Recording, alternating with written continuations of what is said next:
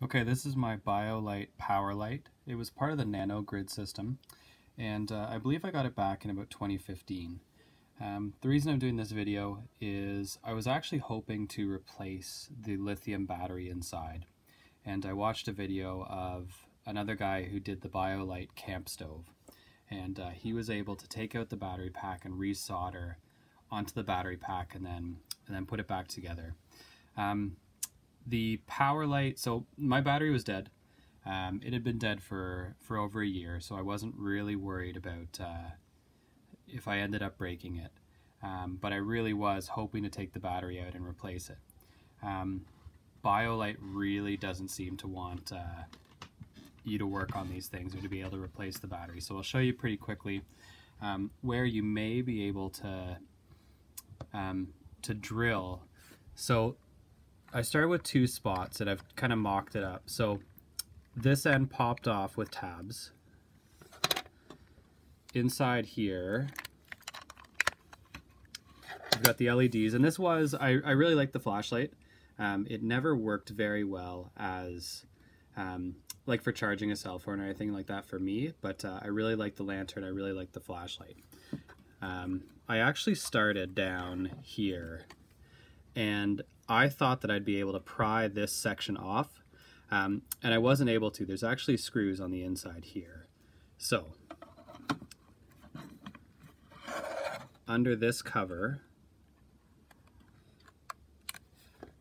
there was a Phillips screw.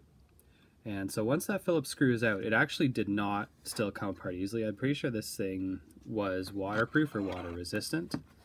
And this whole bead here um, really stuck down. So I actually, I really had to pry it to get it off.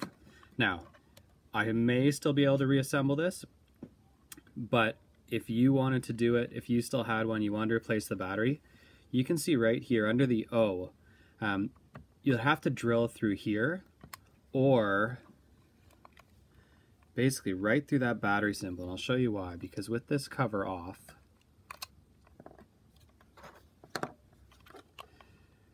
there's a post here and there was really no way to get that off without breaking it.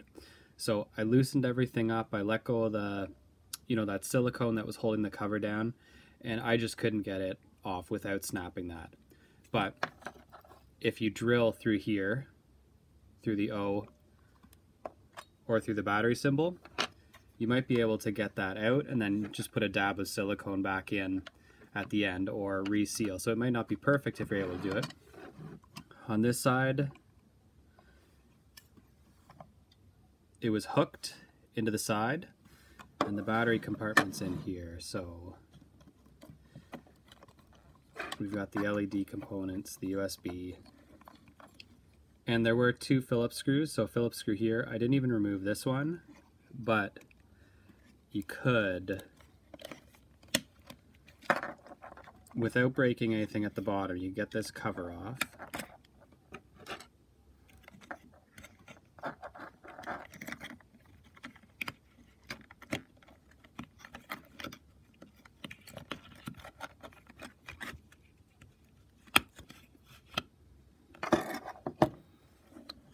And so down at the bottom, you can see there's those two Phillips screws I was talking about is why you can't disassemble it that way.